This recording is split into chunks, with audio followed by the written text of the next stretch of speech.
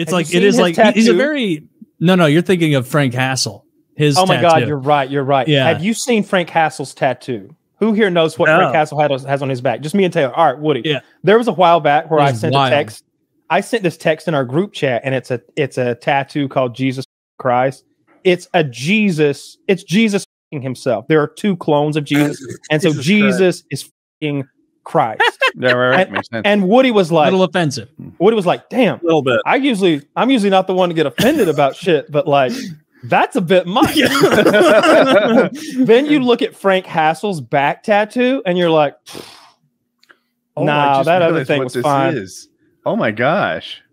it is the This is a tattoo? This is It- permanent? it genuinely offends me. It is Like- uh, the Twin Towers with people jumping out. Um, and the, This is Frank Hassle's tattoo. Yeah. Yeah, there's a link in the description so you can see it. I don't feel like we can show this. One one guy, and he's front and Oh, center. His head's no. A couple guys have lost their head on the way down. I don't know why oh that my happened. god! Yeah, there's an airplane flying into the second tower, Mention how big and it it is. says Mention nine the one size. one. I think you need to be clear that like this is not like a detailed tattoo. This is like a child's crayon drawing. He clearly drew it 9/11. himself or, or like let someone design it for fifty dollars. yeah. It's um it's as big as his whole back though. It goes from the top of his shoulders to you know just above his ass crack and and as wide as he is and he's a big dude. Or at least his and the back looks building does not look like a building. It's just like a bunch of yeah. It's a a five big, year old terribly drawn rectangle with a bunch of It's lines like it's it's it. like shitting on 9/11 in like three ways. Where Yeah. it's like just just disrespectfully showing it and so badly done with like you know what it needs though? Like scribbles. if you it, it should say like never forget. You know, like it should, there should be something Oh, that's that's how he cleans it ironically. up? Just do a ironically never forget respectful. tramp stamp Yeah. under it. Like forget about. Oh it. yeah, with like the silly letters, like Mhm.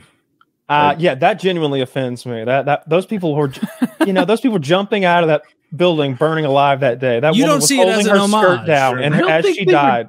Decapitated on the way down. Why is that such a common? Well, I'm sure some people were. I bet when the initial pop happened, there were people exploded out of the plane and out of like blown out Oh. of windows and who knows what. Um, I, I that think initial. that you know Frank realized you know my message isn't fully getting across. Like Yeah. I need, I need the, the- what is the be message exactly here? added. multifaceted. Nine- Yeah. 9/11, we should it's have him and thing Boogie on the show together. oh God, Yeah. Yeah, I'm sure that's gonna happen. I I can't don't- even get Boogie like- to come like- on our show now because of fucking his fight with Dick and everybody. No. Boogie won't. Uh, Boogie's been on our show a bunch of times. He was What's on their just beef? before his boxing match. we we've we've given Boogie a hard time before, right? but but you know, in, in, in good fun, I think. Um, what what did what's the worst thing Dick has done to Boogie? I think the big problem was that when Frank Hassle uh, went to his house, that Dick was uh, kind of boosting it and promoting it, like, "Hey, look at this," and "fuck Boogie" or something. So I think he's just really and anybody who had Frank and they had Frank Hassle, I think, on the show to talk about it on his own podcast, The Dick Show.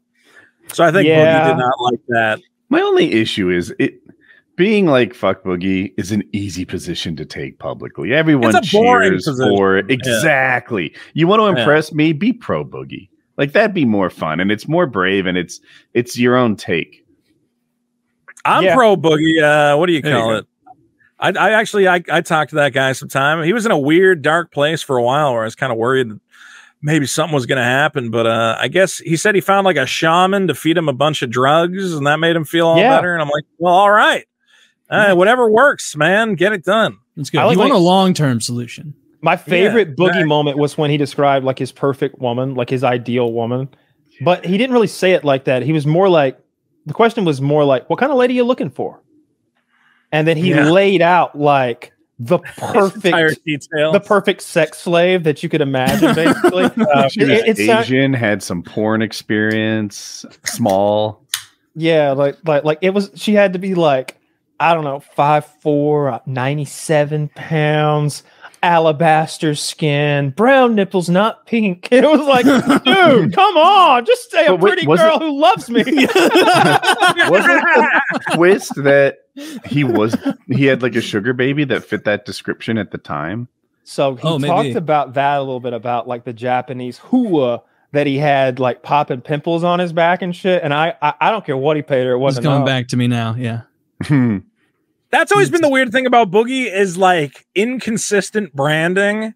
Because I remember there was like a there was like a point in time where I was like, oh, he's like the Mr. Rogers of the internet. I'm like, I never heard Mr. Rogers talk about fucking an Asian whore. hey there, kids. I'm gonna take my sneakers off. As you know, I did spend some time in Vietnam. You know, That was in I explored all, some of those all, all sorts of avenues and fun new things for myself in, in They'll Vietnam. do all There's sorts of there things. there are things they do there that would blow your mind. The inconsistent branding. Wow, I haven't heard it phrased that way, but it's brilliant. Like that is Yeah. the problem. I don't Like, think I'm I've like, ever dude, come as hard as I did in Daipong in Yeah. 1971. There are people who hit YouTube running just with the like, you know, anti-girl stuff or like I'm a horror stuff or like whatever they do, they can say anything and it's fine. It's only when they try to pass themselves off as Mr. Rogers that they get in yeah, trouble. that it's Yeah. like a, li- you go like, well, dude, I know this isn't really, and I, I think that's been the problem is that Boogie got a reputation as like a nice guy, but then at the end of the day, I'm like, dude, you're like, you know, a perverted old man who wants to fuck a bunch of whores, which is fine, but uh, I don't know, it's hard to, yeah, you can't. You almost got to keep that quiet, I guess, if that's not your brand. you can't be making videos about like, God, I hope everybody treats everybody right and goes to their therapist and like, then I fucked some whores. Two different guys. Two they should have two different channels. Dark Boogie. That's Honestly. Dark Boogie would be good. Uh, Dark Boogie would be fun. Where he, where he, like Boogie Unleashed.